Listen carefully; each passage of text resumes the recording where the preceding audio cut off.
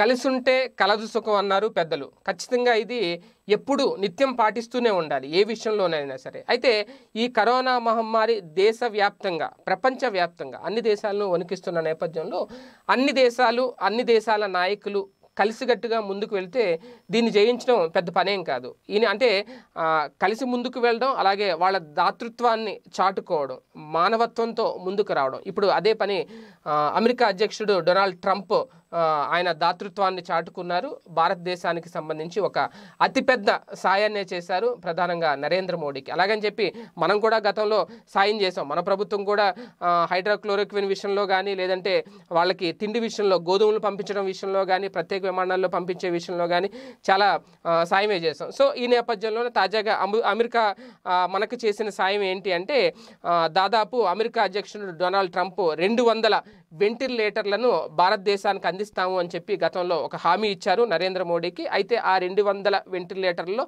మొదటి విడతగా ఒక వంద వెంటిలేటర్లని ఇండియాలోని రెడ్ క్రాస్ సంస్థకు అమెరికా ప్రభుత్వం తమ అంతర్జాతీయ అభివృద్ధి సంస్థ ద్వారా అందజేసింది అనేది మన దేశంలోని అమెరికా దౌత్యవేత్త కెన్నెత్ జస్టర్ ఒక ప్రకటనలో తెలియజేశారు. అమెరికా అంతర్జాతీయ అభివృద్ధి సంస్థ భారతదేశంలోని రెడ్ క్రాస్ సంస్థ అలాగే భారత ఆరోగ్య శాఖతో పాటు ఇతర వాటాదారులతో కలిసి పనిచేస్తూ వెంటిలేటర్లని సక్రమంగా పంపిణీ చేస్తుంది. అంటే ఇప్పుడు తొలి విడతగా రెండు వందల వెంటిలేటర్లు పంపిస్తారన్న హామీ ఇచ్చిన నేపథ్యంలో వంద వెంటిలేటర్లు అమెరికా నుంచి భారత్కు వచ్చాయన్నమాట ఇప్పుడున్న పరిస్థితుల్లో వెంటిలేటర్లు మనకు చాలా అవసరం.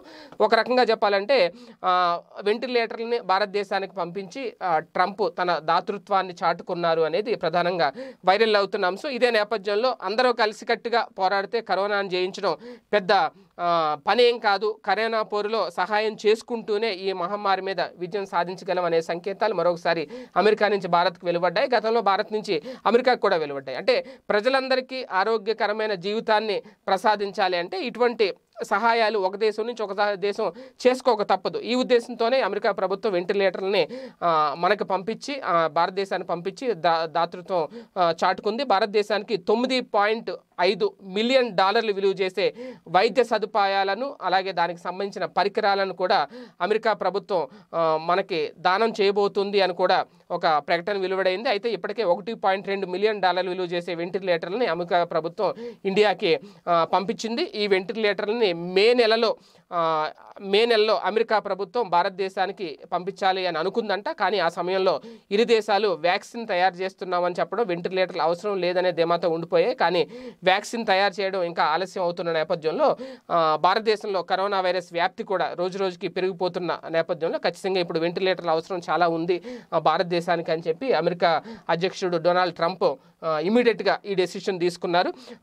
భారత ప్రధాని నరేంద్ర మోడీ ఫోన్ చేసి వెంటనే వెంటిలేటర్ వెంటిలేటర్ల వెంటిలేటర్ల విషయం ఇద్దరు మాట్లాడి ధన్యవాదాలు కూడా చెప్పారు. వెంటిలేటర్ల పంపిణీపై మోడీ కూడా సానుకూలంగా స్పందించారంట. డొనాల్డ్ ట్రంప్ ఇచ్చిన హామీ ఏదైతే ఉందో గతంలో రెండు వందల వెంటిలేటర్లు అది వంద పంపించడం మరొక రెండో విడతలో కూడా మరొక వంద వెంటిలేటర్లు పంపిస్తానని చెప్పి మరొకసారి హామీ ఇవ్వడం. ఒక రకంగా చాలా మంచి సానుకూల వాతావరణమే.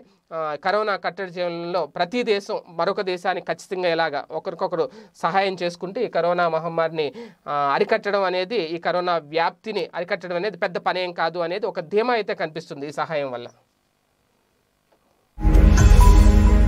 ఈ వీడియో గనక మీకు నచ్చినట్లయితే లైక్ చేయండి షేర్ చేయండి. మరిన్ని వీడియోస్ కోసం మా ఛానల్ను సబ్స్క్రైబ్ చేయండి.